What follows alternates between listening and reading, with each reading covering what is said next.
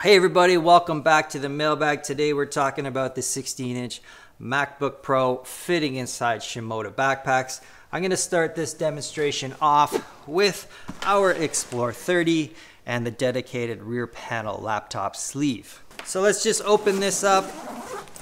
Here's our laptop sleeve. It is padded and let's just slide this in here. Just a side note, this is the 2021 M1 model. You will notice the edges are pretty much flush uh, with the binding of the backpack's rear access and the corner of the MacBook Pro.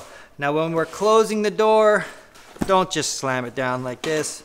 Take the extra second and just make sure the corners are put in.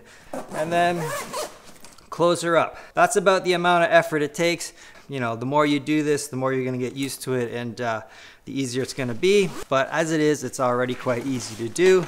Now there is one concern people have and that is with the zipper and the corners uh, making contact. I don't know if you can see it on camera, but we do have this binding right here and pretty much your laptop does not make contact with the actual zipper. Now the other way to do it, of course, just access it from the top.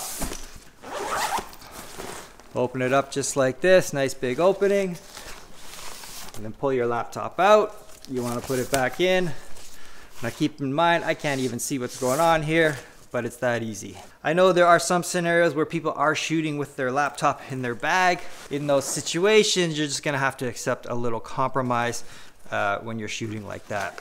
Now, I'm just going by uh, comments I'm reading on the internet, but some people are absolutely not comfortable with using uh, the Explore series and the rear access. I'm not going to argue either way. As a user and owner of all your gear, you are entitled uh, to your opinions, and I totally understand if you want to protect and keep your gear in absolute pristine condition. Uh, we are an adventure camera bag company. In my world, at least, things do get a little dirty and scratched up sometimes. Of course, we do want to prevent that as much as possible possible. I am gonna show you the front panel option and it's very simple.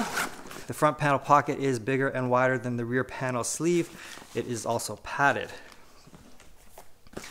So, very simple. Now you can also use the front panel pocket. Now if you really want some extra protection, by all means introduce another laptop sleeve for protection.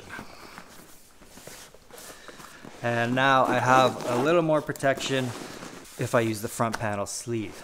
Now personally, I prefer uh, laptop sleeves that have uh, the seams sewn like this. Bags and soft laptop cases tend to not have a lot of protection around the edges. And in my opinion, that's where your laptop uh, is probably gonna take the most impact.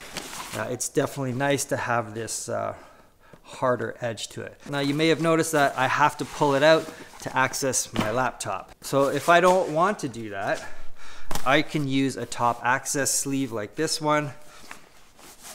Now admittedly this one doesn't have a great deal of protection. Uh, honestly where I live I don't have a lot of access to uh, things like laptop sleeves for the 16 inch MacBook Pro. So this is my wife's and this one I bought specifically for this demonstration. But uh, you can just put it in like this and then uh, pull it out like that without having to remove uh, the actual sleeve. All right, so let's just show you how this is gonna look on the Action X30. Now, right off the bat, I wanna show you that the Action X30 front panel pocket is a little bit smaller than uh, the Explore 30. We're roughly at about uh, 43 to 44 cm. On the uh, Explore series, we are uh, well over 45 cm. So even though it's padded, definitely has a little more volume and will accommodate a little bigger laptop sleeves. In my opinion, you should probably shop for these in person, uh, not online, because you'll want to actually fit the laptop sleeve in the bag before you buy it. So let's take the laptop and slide it inside here. Now you can see here that the Action X30 isn't padded on the exterior shell, so I would definitely advise using a case for the pack. And uh, there, that's how you have it in your Action X30.